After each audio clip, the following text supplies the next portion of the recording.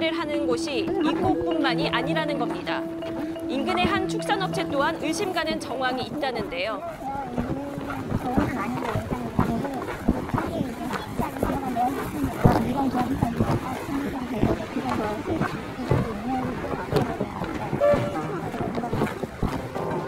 이곳 또한 손님으로 위장한 단속팀이 방문해 확인에 나서보기로 했습니다. 국내산 돼지고기만을 고르고 골라 구입 후에 다시 차량으로 돌아오는 단속팀.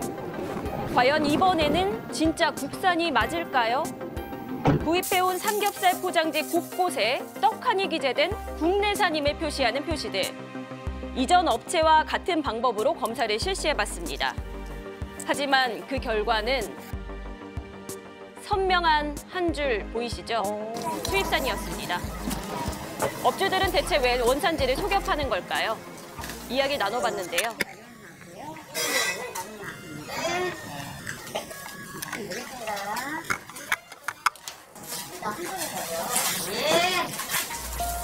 원산지 표시 단속팀인 것을 밝혔음에도 여전히 국내산만을 판매한다고 주장하는 업주.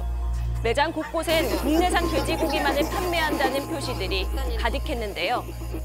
이 결국 매장에서 해당 축산업체의 국내산 돼지고기로 한 번 더 키트 검사를 진행했습니다. 결과는 변함없는 한 줄.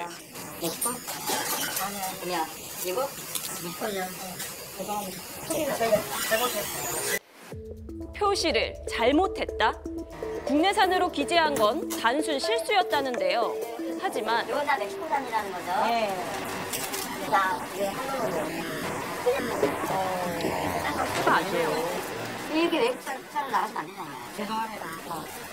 지금 대표를 말씀은 장사도 아니고 그래서 게다가 거래 명세서엔 수입산을 들인 이력까지 남아 있었습니다.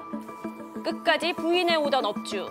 단소팀의 계속된 추궁에 결국 현장에서 적발 확인서를 작성 후 처벌을 피하진 못할 것으로 보이는데요. 관한 법률 위반으로서 1억 원 이하의 벌금과 1년 이하 징역에 처해질 수 있습니다.